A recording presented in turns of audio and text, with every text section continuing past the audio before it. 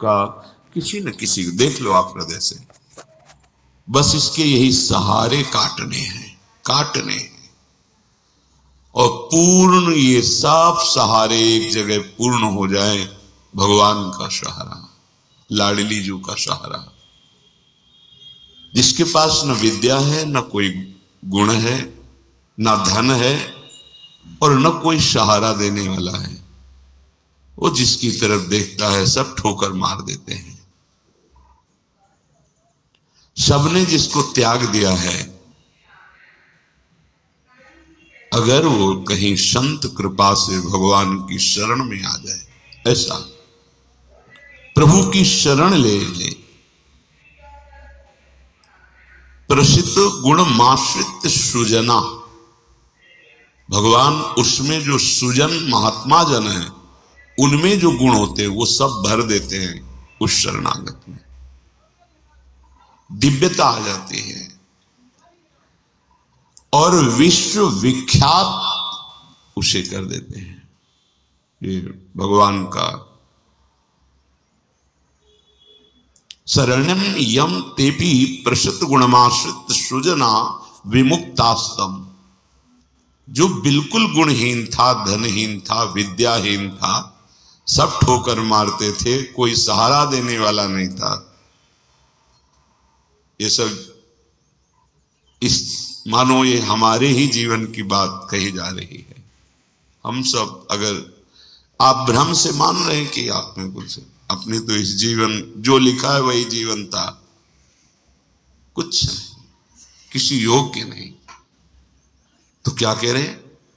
जब भगवान की वो शरण में आया तो सारे वो गुण भर दिए भगवान ने, जो एक दिव्य महात्मा में होते हैं। और क्या किया? उसे विश्व विख्यात कर दिया। और क्या किया? बोले विमुक्ताश्रम जो जीवन मुक्त महापुरुषों की स्थिति, वो स्थिति प्रदान कर दी। किसी अन्य साधन से नहीं, एकमात्र शरणागति से। ऐसे हैं हमारे भगवान श्री कृष्ण। मैं प्रणाम करता हूँ। वंदे यदुपति महम कृष्ण ममलम निर्मल बना करके जीवन मुक्त परम हंसों की स्थिति प्रदान कर, भगवान को देने में कोई दुर्लभ बात है क्या? शरणागति। हे, मत भटको इधर उधर। शरणागति बहुत ज़ोर का विषय है ये। समझना है। भगवान कहते हैं, क्या करना है, क्या नहीं करना है? अब तुम्हारे ऊपर ये भार नहीं रहा। बहुत ध्यान से सुनोगे तो आनंद आ जाएगा। तुम्हें ये बात कोई समझाएगा भी तो नहीं समझ में आएगी कि अब तुम्हारा कल्याण नहीं होने वाला। अरे ऐसा ऐसा करे, तब जीवन मुक्त होता है। आपको नन की हुई बात कह रहे हैं। स्वयं भगवान की शरणागत हो जाना संपूर्ण साधनों का फल है सार है। हो जाना प्रभु के संपूर्ण साधनों का फल है सार है। जैसे भक्ति के नौ विशेष स्वरूप है श्रवणम कीर्तनम स्मरणम विष्णुपाद सेवनम अर्चनम बंदनम दास्यम सख्य। पर ये जो नवा है, ये अष्ट भक्ति का फल है, आत्मसमर्पण। आत्मनिवेदनम आत्मसमर्पण। अपने आप को प्रभु के हवाले कर देना, अंदर से, हृदय से। आप देखो, ये ऐसा वो परिस्थिति पैदा कर देते हैं, या ऐसा ज्ञान दे देते हैं, दोनों बातें उन। पूर्ण समर्पण तभी होता है जब अशरण हो जाता है, हर जगह धक्का, कोई सहारा देने वाला नहीं, उसके पास कुछ नहीं। कोई अगर उसकी तरफ़ से निकलना चाहो तो हट कर दूर खड़ा हो जाएगा। कहीं कुछ मांग न ले, कहीं कुछ कह न दे, ऐसा। तिरस्कृत उसे विश्ववंदनी बना देते भगवान। पक्का। केवल शरणागति, बहुत बड़ा स्वरूप है शरणागति का। ये संपूर्ण साधनों का सार है। शरणागत भक्त को अपने कल्याण के लिए कुछ भी करना शेष नहीं रहता। सुनते जाना। जैसे पतिव्रता शरीर श्रृंगार करती है पति के लिए। पूरे ग्रह की टहल करती है पति सुख के लिए। उसकी एक एक चेष्टा केवल अपने पति के लिए होती है। यहाँ तक कि वो पूरे कुटुंब का पुत्र, पुत्री, सबका पालन पोषण केवल पति प्रसन्नता के लिए करती है। ठीक बस ऐसे ही शरणागत का स्वभाव बन जाता है। उसकी शरीर की सारी चेष्टाएँ प्रभु को समर्पित। सारी इंद्रियों की चेष्टाएँ प्रभु को. वो शरणागत है। तभी सेवक जी महाराज कह रहे हैं, हरिवंश पतिव्रत है जिनके, सुख संपत्ति दंपति जो तिनके वृंदावन में विराजमान सहचरियों के मध्य में प्रिया प्रीतम के प्रति जिसका ऐसा अनन्य भाव, बोले उसको, निश्चित प्रिया प्रीतम प्राप्त होते हैं। उनकी सेवा उसको प्राप्त ये बहुत बड़ी बात है।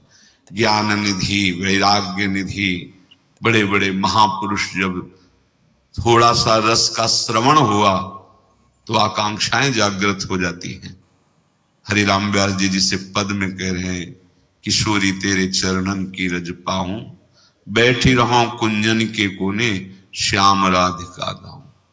जो रज शिव सनकादिक याचत,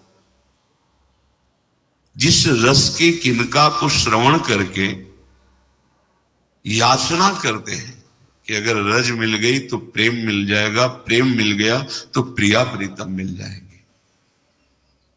ज्ञान समुद्र है भगवान शिव। ब्रह्मा जी परम ज्ञान समुद्र हैं। संपूर्ण सृष्टि का सृजन, ज्ञान, विज्ञान, उन्हीं की तो देन है। शरणागत भक्त शरीर को सुख पूर्वक रखता है। नहाना, धोना, कपड़ा सब। कैसे? जैसे पतिव्रता अपने शरीर को सजाती है, उसका उद्देश्य क्या होता है? पति को सुख देना। पति देखेगा, प्रसन्न होगा। ये हमारे परम पति का दासत्व है। गर्व से जैसे वो मांग करती है मंगल सूत्र धारण करती है। ऐसे ये तुलसी जी, ये हमारा मंगल सूत्र है, हमारे प्रीतम परम पति के लिए। ये जैसे, ये हमारा सुहाग है।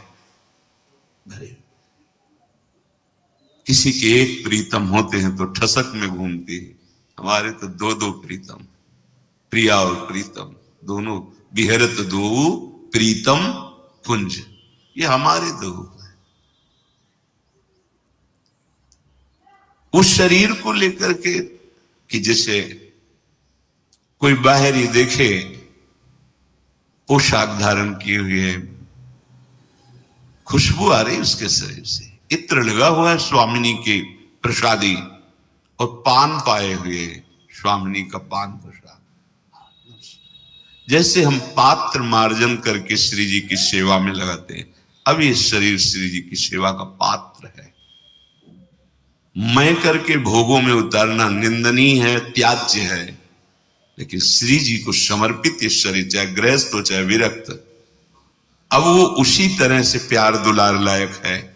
जैसे हम ताम्र पात्र को मार्जन करके पवित्र स्थान में ऊँचे पे रखते हैं। क्यों? क्योंकि श्री जी की सेवा में आएगा।